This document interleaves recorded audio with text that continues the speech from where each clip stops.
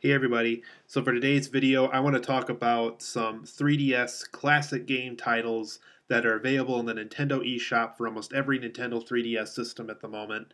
Uh, these are games that you can download at the eShop feature uh, built into the main menu feature of the 3DS system and you can download them and put them on whatever SD card is available in your 3DS system uh, for memory storage you can play these classic games and you know kind of see where you know kind of how Nintendo got to where they are and things of that nature. But since most of you are watching this video probably even know already know about you know like the eShop feature and the virtual console games and stuff of that nature.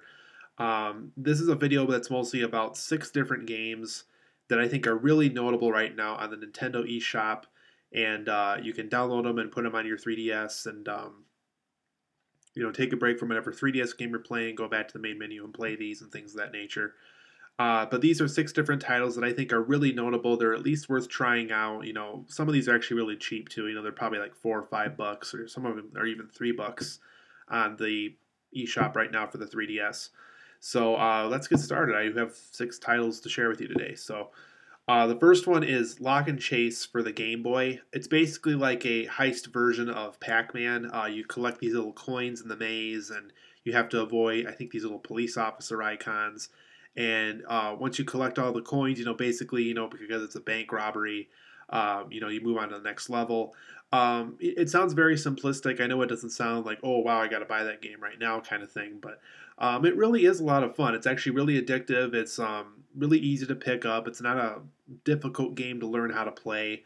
Um, like I said, I think this is one that's about only about four bucks or something on the eShop, so it's it's really worth your time and money. I think it's a lot of fun. so if you like Pac-Man, if you want to see kind of a bank heist heist version of that uh, game, Lock and Chase is a good game to download. The next one is actually an NES title, and it just and it just so happened to be a um, 3DS eShop game in the process, and that's Balloon Fight for the NES. Really fun game. It's a, there's there's a one and a two player mode in it. You basically try to pop the balloon of these little bird creatures that are flying around in all these different levels that you go in. You yourself have two balloons. You you actually play the balloon fighter in it, and once you pop their balloon and you either pop their parachute or you hit them while they're on the ground, uh, you do that until all the enemies are taken out and you move on to the next level. Really fun game. I know a lot of people who who owned an NES are are aware of a lot of these, you know, NES classics. Probably already know what Balloon Fight is, but yeah, it's a really fun title. It is available on the eShop just like it is for the um, the Wii Systems eShop for virtual game titles, for virtual console titles. It's a really fun game. Another really fun game that you can also download for the Wii version of the Virtual Console is the original Super Mario Brothers. I don't even have to tell you what that is, just because it's you know so well known. It's one of the best games ever made for most people. Um, if you don't own it yet, you can you can play it now. You can download it for the eShop for the 3DS and uh, enjoy the NES Classic. Next one is actually a, not a very well known title, so I really want to make sure I talk about this one. It's called Vampire Master of Darkness. It's a Game Gear title that's available for download through the 3DS eShop. Um, I'm personally not too far along in it from from what I played of it and from what I've because um, I actually own a Sega Game Gear still from back in the day.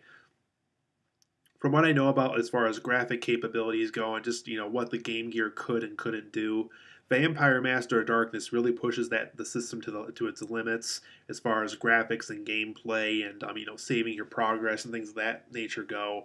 Just a really impressive game. I uh, from what I played of it so far, it, it does have a very impressive um, technical feature. You know, it does really feel like you're this guy going through this vampire town and taking out all these monster-like creatures and things of that nature. It's a really impressive Game Gear title. Next one is actually a game I've played since I was a boy, and I've actually, uh, I, I, personally don't have it for my 3DS, but I know it's on there. And I think the second and third version of this is on there too. But I used to play this for the original Game Boy all the time back in the day. And that's the original Game & Watch Gallery, where you get to play modernized versions and the classic versions of classic Game & Watch games. For those who know who Mr. Game & Watch is for the, the uh, Super Smash Brothers titles, uh, this is basically where he came from these old Game & Watch games from Nintendo. Uh, it was actually kind of their first handheld universe of games before the original Game Boy even came out. And in the Game Watch gallery, you know, you can play modernized versions. They have like Mario and Luigi and things of that nature, or you can play classic versions the way they were originally viewed and played for the Game and Watch system. So really fun game. It's currently available for the Game Boy on the Nintendo 3DS Virtual Console library.